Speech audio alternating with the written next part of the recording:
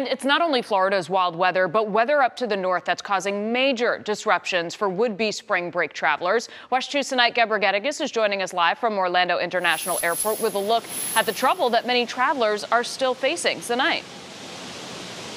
Michelle, at this hour, you can still see some red on those screens showing those cancellations and delays. A lot of these passengers have been stuck here for more than 24 hours, some of them since Friday, waiting to hop on the next available flight.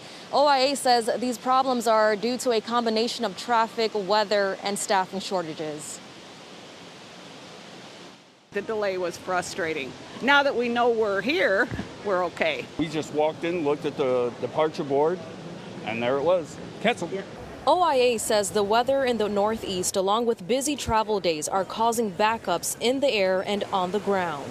in the airport for over 36 hours. in the airport hours. totally between San Juan's airport And Puerto. Rico and here. We uh, had to rent a car again, which was way more than the one the week before because spring break. Some passengers were in the boarding line when they learned their plane would no longer take off.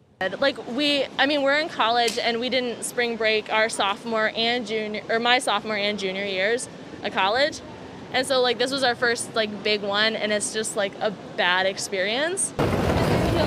With spring break season in full swing, the airport screened more than 80,000 passengers on Saturday, exceeding the number recorded in March 2020. been really stressful. I mean, he was supposed to go to school tomorrow. He's not able to go because we won't land until midnight.